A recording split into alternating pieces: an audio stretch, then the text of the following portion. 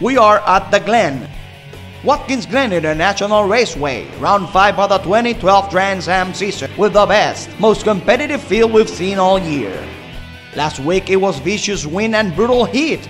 This week it was lightning and thunderstorms at the Glen. It changed qualifying and affected the race outcome because of it. A past winner, Jorge Diaz Jr. brings his Jaguar to the Corvette show to change everything, maybe in victory lane. A teenager finds time from his summer break to lead TA2 to the green flag. And Trans Am honors its past and maybe its future through one man. Points leader, Simon Gregg. Welcome to a rainy Watkins Glen. This is round five of the 2012 Trans Am Championship. I'm Bill Wood with Alfredo Nin. Alfredo, they've been talking about this rain for several days. It's finally here. Oh, just as uh, New Jersey, the rain changed everything completely during the schedule of the weekend. And here at Watkins Glen, we can have the same thing. Only in now New Jersey, we had crazy temperatures and wild winds, but here it's just rain and it poured down here. Right as we're talking now, qualifying has changed. We're not sure how it's going to change when it actually happens about two hours from now. Trans Am does not qualify in the rain, so they may turn the session into a practice session. But right now, the craziness is what's going to happen, whether or not they're going to be racing in the rain. Now let's go for a lap around the track with Puerto Rican driver Jorge Diaz. Hi, I'm Jorge Diaz. Let's go take a ride on the Watkins Glen racetrack. Here we're coming out to the main straightaway of Watkins Glen. We've got a big passing zone coming up here on the uh, straightaway. You want to do very late braking, late apex coming into corner one. As we're coming into uh, corner two, you want to really carry your speed coming up. This becomes the longest straightaway. As you're coming into right, left hand side and right hand side again. Right here, you're really gonna want to be all the way on the outside carrying your speed so you can carry it going into the bus stop. You have to be very careful that you can get past right there as you're braking and going in. Once you get out of the uh, bus stop and coming into the carousel, you want to make sure you're not too far into the outside. It becomes a very easy location to get past. You want to carry that car all the way to the corner. You're coming right now to turn 9 and over to turn 10 these parts here are very important since you're going to start coming uphill and you're going to get all your weight carried to the rear. It's going to make the rear want to dance a little bit, but you got to power it through for the last part of the turn. As you're coming here into uh, 13 again, you got to watch out that somebody might be coming on your right hand side. You want to carry your speed in again. You want to go all the way outside so you can carry as much speed as you can to turn 14. As you're coming out of 14, you gotta be careful with the wall that's coming up. It's actually closer than it appears. You're coming out into 16, and this is very important. This is a very fast part of the track. As you're carrying speed, but you wanna you don't wanna overdo it. You're gonna have to carry as much speed as you can coming into this straightaway, which is more important than actually coming in faster. You wanna exit out into straightaway as fast as you can, and that's the uh, lap of Watkins Glen. Now, a special tribute to Trans Am's past and a little bit of its future with points leader Simon Gregg. Simon Gregg, you're coming to your own as a driver now, son of Peter Gregg, one of the greatest drivers in Trans Am history. You've got your own history now. You're beginning to win races. You're the points leader here in 2012. We've got a painting here that is one of the uh, tributes to your dad the, from the six hours in 74, uh, Peter Gregg and Hurley Haywood were the Trans Am winners. The Trans Am was included in that. It brings back a lot of memories, Bill. I, I spent a lot of time at this track as a kid. It was a really important venue um, for endurance racing and you know, all the other series. Um, everything's come full circle now. Um, I'm living the dream, following Dad's footsteps, and I'm excited to be leading the Trans Am points, have a shot at winning the championship. Me and the Derhaag Motorsports team have everything going our way this year. So we've got something special for you. This is the original painting that we have here on the wall uh, that we were able to get for you. This is a very special time. That's so excellent. I, that's a beautiful artwork, and it, it that's that's priceless. I, I can't wait to have that hanging on my wall at home and I love thinking about my dad, and you know his his old cars were always beautiful like that, and, and that's wonderful. Your dad was a, a very special man to a lot of people, but I guess he was very special to you also. Great tribute. We'll have racing right after this. This segment is brought to you by GoRacingTV.com for racers by racers.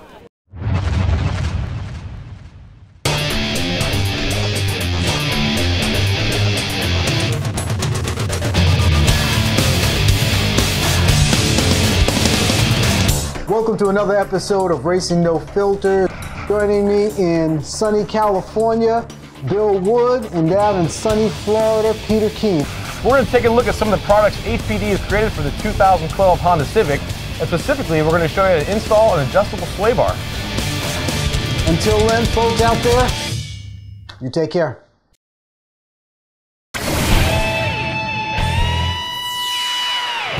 So let's go on to the start of the race. Round five, the Trans Am Championship for 2012. This is at Watkins Glen International Raceway. Rain washed out qualifying. Race officials had to use the fastest practice times to get a final starting lineup. That was led by Jorge Diaz, who's joining the Trans Am Series for the first time in 2012. He's from San Juan, Puerto Rico. Beside Jorge Diaz will be Simon Gregg. Ponte Vedra Beach, Florida, he's the points leader. Amy Rumans from Kent, Ohio. John Bauckham, Matthews, North Carolina. Blaise Sheeta from Ballantrae, Ontario, Canada. That's our top five. Six through ten is Andrew Romaki, Alan Lewis, Denny Lammers, Ian Patterson, and Bob Monette. Tony Ave, the two-time defending champion, worked with Doug Peterson's car all weekend, never got an official time of his own. He'll start 11th. Maybe the biggest headline of the weekend, though, came in the TA2 qualifying. Cameron Lawrence, a 19 year old teenager from the University of Central Florida, was the fastest in practice. He starts on the TA2 pole, followed by his teammate Pete Halsmer. They're both at Miller Racing. The lone global GT driver, David Cease. Cease is in a Porsche. His times are right there with the TA2 drivers. Followed by Kurt Roehrig, Tom Sheehan, Michael Wilson, second in points as you start the race. Ricky Sanders, Jeff Fain, Mel Shaw, Joe Sturm. Bob Stretch, the defending champion, he'll start last. He crashed his car in practice. He'll start with a new car. There's the drop of the green flag, and everybody's moving, including Jorge Diaz moving off the front and Tony Ave. Oh, Tony Ave starting from 12, right from the back of the Trans Am field, but easily going through all the Trans Am cars right at the first lap. Passing them on the outside. You're not supposed to be able to do that, but he's got momentum and he's taking advantage of it. Definitely another great start for Amy Ruman. Started third, didn't lose any time to go for second under Simon Gregg. And Ave started 12th. He's already moved to fifth in the first lap. Jorge Diaz also taking control of the race right at the start. Quickest out of the box since Friday, showing a lot of speed to Puerto Rican drivers. That Jaguar XKR, it looks good to be in this field with all the Corvettes and Camaros and Mustangs. It's good to have some diversity in Trans Am. Now here's defending champion Bob Stretch, points leader in TA2. He's going to take Kurt Roehrig and David Cease. He's catching them going into turn one, but he's going to pass them on the inside, under braking, and exits the corner, headed for the S's, where he had a problem earlier in the weekend. Lost his original car, the yellow Camaro. He had to get this new one. Uh, well, we moved to a new car, and uh, we had to put a motor in the new car, and kind of it's a car that's never been run, so we had to basically finish building the car here at the track.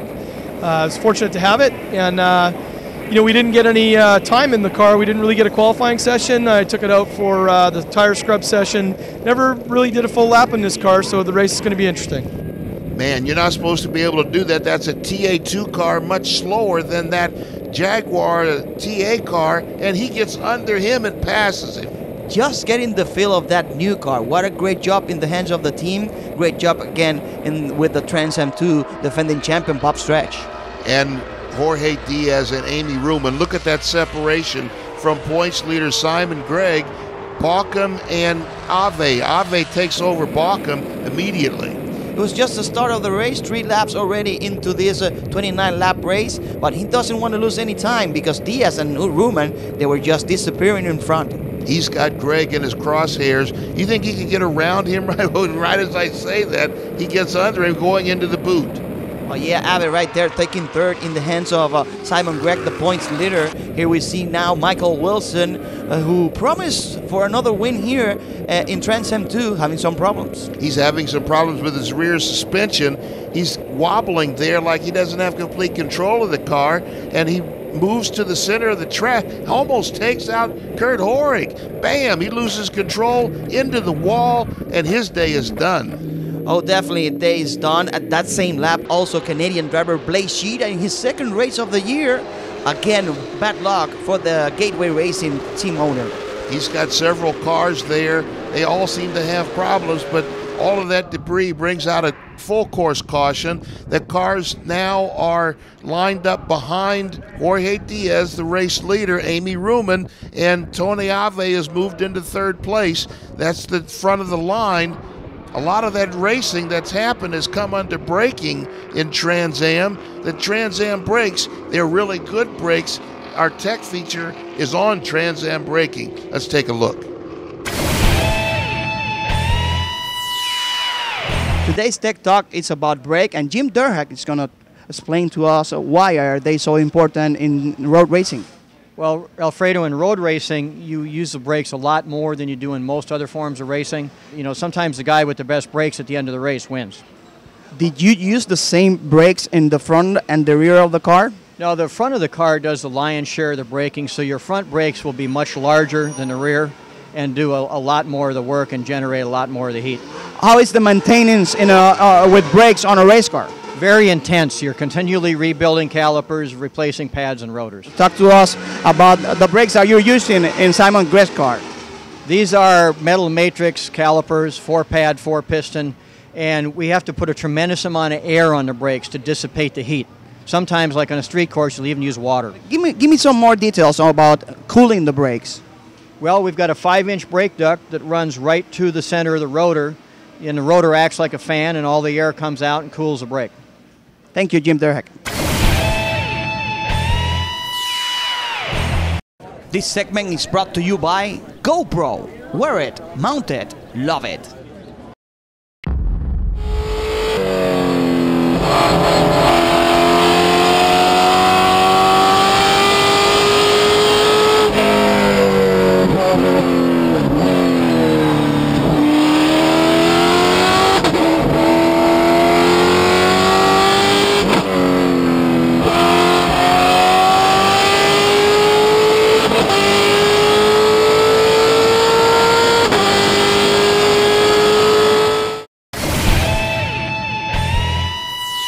Spend a few minutes with Cameron Lawrence, a TA2 driver who is in the Miller Racing car this weekend in the Camaro. How does it like to be on the top of the ladder? It's very nice. Um, we've worked hard with my car, and it's just not as fast as these newer cars. They're just better built, and the team is just top notch, and you, you can't beat the crew, and you can't beat the help from Pete. Did you know about Pete Halsmer and his experience in Trans Am before you met him this time around?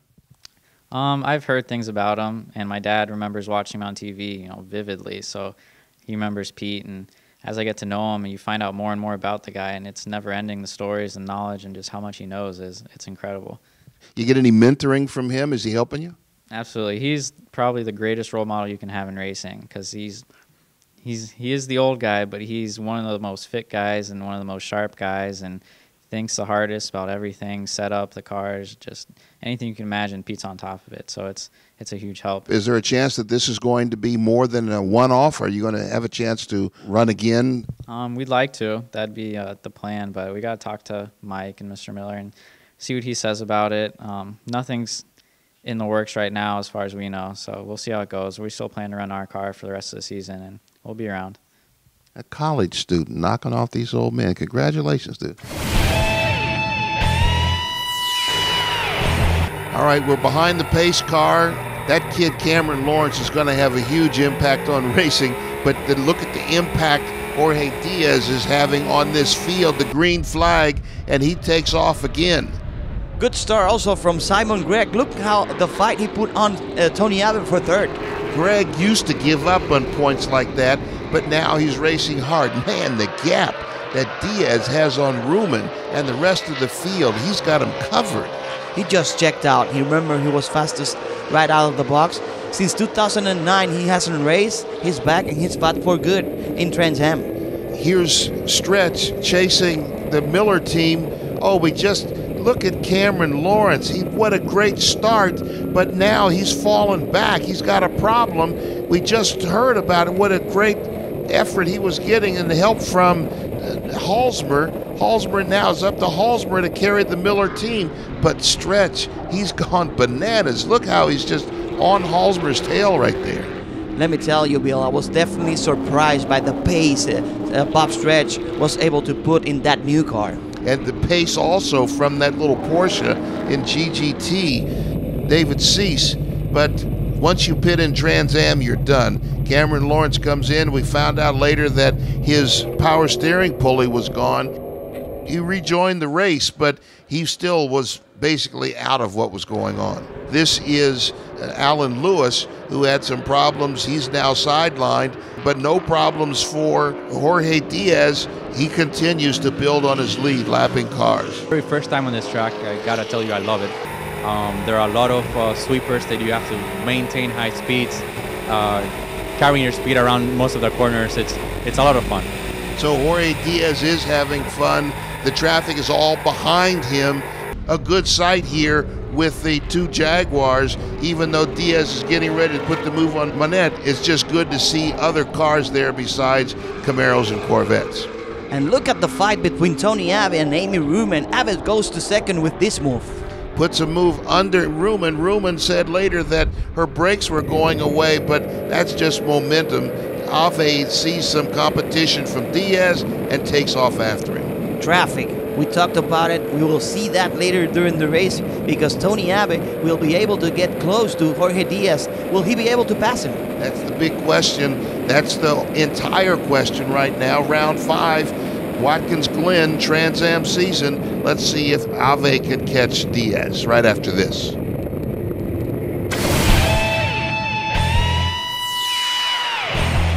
This segment is brought to you by Speedcom Communications, racing radio systems and scanners. Want to keep up with all the racing action at the track? Well, download the new Go Racing TV iPhone and Android app.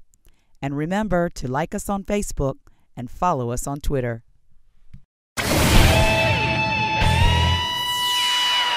The TA2 cars now are really going after it. Bob Stretch is closed on Pete Halsmer. Halsmer's doing all he can to hold him off, but Stretch is not going to be denied, it looks like. He's really got Halsmer in his sights and wants a piece of him right now.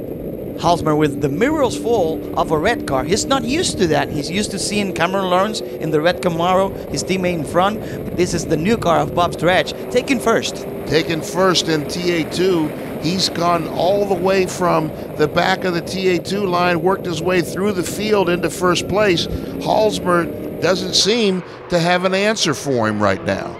Midway in the race, right there, both drivers looking pretty strong in the Trans Am 2 class. A stretch taking the advantage in front of Halsmer. So we're back to this battle for third place with Roehrig and Sheehan. Roehrig, the engineer, rebuilt some shocks for Sheehan, gave him three seconds a lap. Uh, big big shout out to Roehrig Engineering. Uh, we had some real real shock problems, a real bad handling car. We've been kind of chasing it all, all year long, and uh, uh, Kurt was uh, kind enough to, to get a set of shocks ready for us and ship them up overnight, and we got them on for the last practice. And uh, we didn't really get a chance to dial them in, but it made a, obviously a big difference in our, our speed. So we found a little speed there with the shocks. Got a lot of speed. Three seconds a lap is is phenomenal. There he is putting some pressure on Roehrig. Passes him on the inside, coming out of the turn. Still sticking around. Ave is trying to put some pressure on Jorge Diaz. Diaz has shown he's got the field covered, but Ave is not used to being covered himself. He's going after him hard. Well, definitely taking advantage of the lap traffic, was able to shorten the difference between him and Diaz. Less than a second at that moment, and Diaz mirrors full of the yellow Corvette of Tony Ave. Coming all the way through the field, Ave has really done a good drive. It's good for him to get some miles on the car. He's had problems all year. Amy Ruman running alone here in third, just keeping a steady race. You know when you're not in the game and you probably can't win. But honestly, you never know who's going to fall out. You never know what's going to happen five laps to go or even two laps to go. And, and if you're right there still, you might pick up that win on, on someone else's attrition or, you know, different circumstances. So I, I never give up until the end. And you shouldn't give up. Anything can happen. Diaz has been roaring through the field. Can he finish? Can Tony Ave catch him? We'll look at the end of the race right after this. This segment is brought to you by TrackMate Data Systems. Simply the best.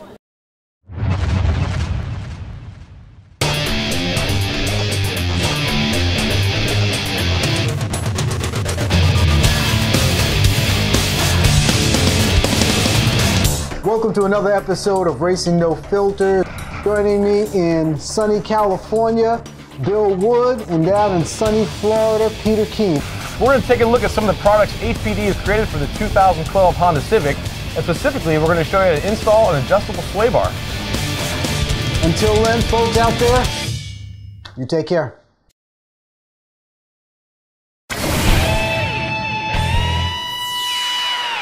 We're back. One of the battles on the track for fourth place. Points leader Simon Gregg is going after John Bockham. This round five will definitely be the best uh, race of the year. The biggest car count, and uh, we have the best battles in the field between uh, different uh, uh, drivers. This is spoken with Simon Gregg right in front of them. The fight for third in Trans Am 2 between Roehrig and Sheehan. Wow, what a race at the Glen. Gregg is showing a lot of patience right here. He couldn't pass him at one corner. He waits for the next one and dives under him and takes fourth away from Bockham. And they have this fight right from the start of the race. Look at Tony Evans' windshield. The windshield's got oil. That's what that is. Somebody's dropping oil on the track and it catches Ave out. All of that work that he's done is down into the tires right now. He was losing sight from Jorge Diaz, and at that moment, he lost control of his car. He was set for a podium finish, his first of the year, but now he's out of the podium. Now the big battle to be decided is Bob Stretch and Pete Halsmer. Halsmer gets a round stretch right there. Maybe Stretch, maybe he's overused the car. Maybe it's a new car. Maybe he's overused his tires or overused the car. But Halsmer gets around and there's smoke.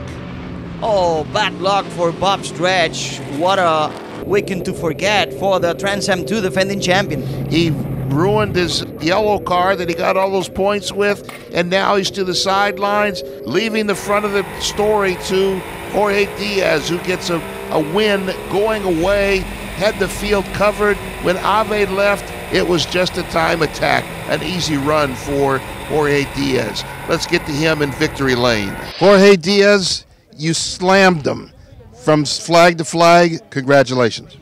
Thank you. We were really looking forward to uh, to this race. We were looking forward to the suspension setup that we have and that uh, that we used, and it definitely just worked flawlessly.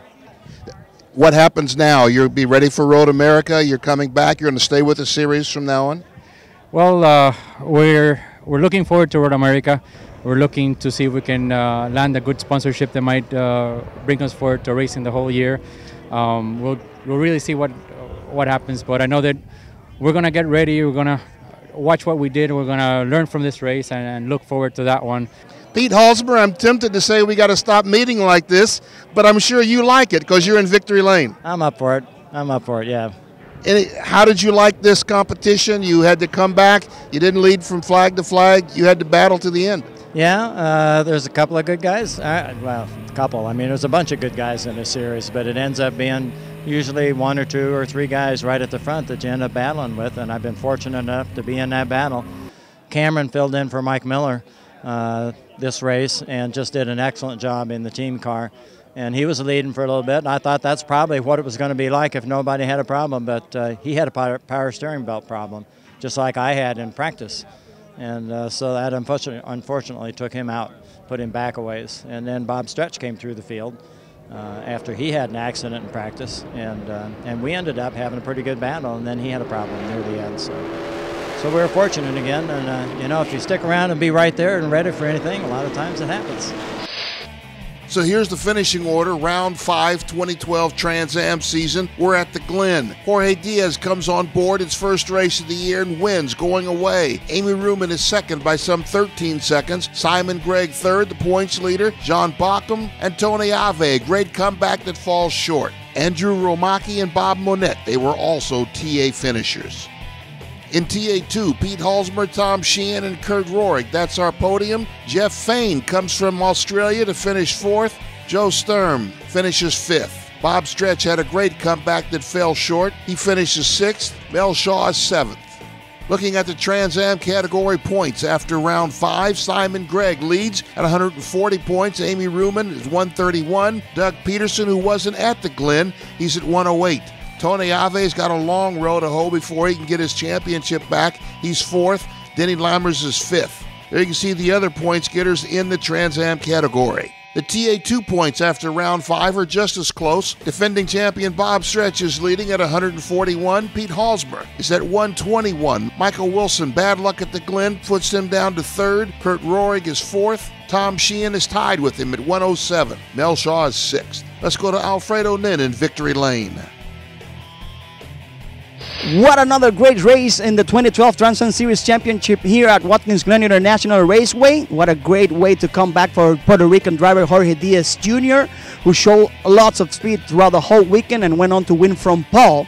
Behind him, lots of action in Trans Am, the biggest car count this weekend. In a few weeks, we will go to Road America, where we expect a bigger car count in Trans Am and in Trans Am 2. From Watkins Glen International, I am Alfredo Nin. I expect you enjoyed this show. See you in a few weeks' time at Road America.